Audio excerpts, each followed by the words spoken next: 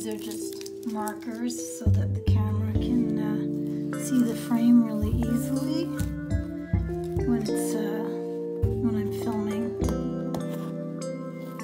the painting process. So because this tape is white, so I put this orange tape so that uh, I can see the frame really easily. So I have to take these orange tape off first. And then we have to very carefully remove the uh,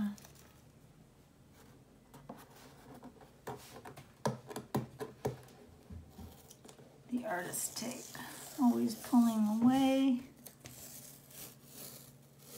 from the edge of the paper. In case it tears, it won't tear into the actual painting.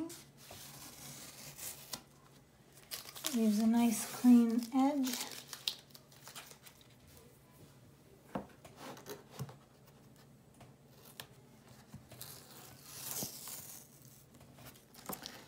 Is the uh, deckled edge of the paper.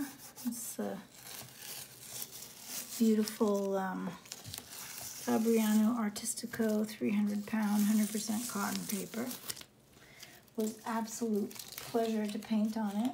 Nice and thick and uh, has barely warped under all the layers of watercolor. I must have done about 20 layers in some spots. no, I'm exaggerating. 12 maybe.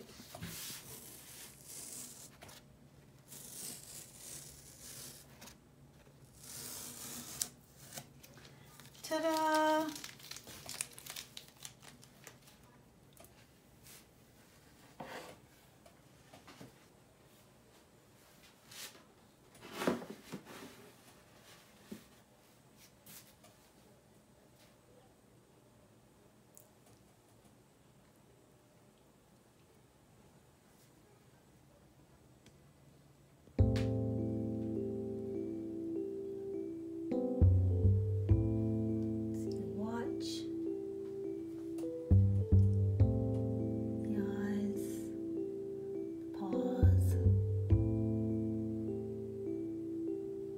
Squirm blanket.